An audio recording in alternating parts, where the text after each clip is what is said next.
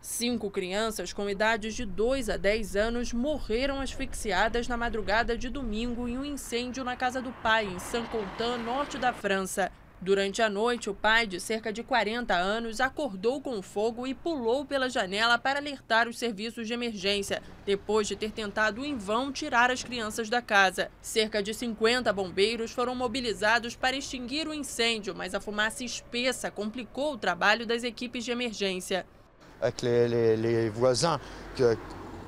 Vamos nos reunir aos vizinhos e formar um grupo para tentar organizar algo para as crianças. Talvez uma marcha branca, não sei ainda. Mas, de todo caso, não podemos deixar os pequenos partirem assim, sem um segundo pensamento. Isto não é possível. Sans arrière-pensée, c'est pas possible. Uma necrópsia deve ser realizada nas vítimas na segunda-feira. O pai apresenta queimaduras graves e só ficou sabendo da morte dos filhos no hospital na manhã deste domingo. Divorciado, ele recebia os filhos nos finais de semana, de acordo com a prefeitura da cidade.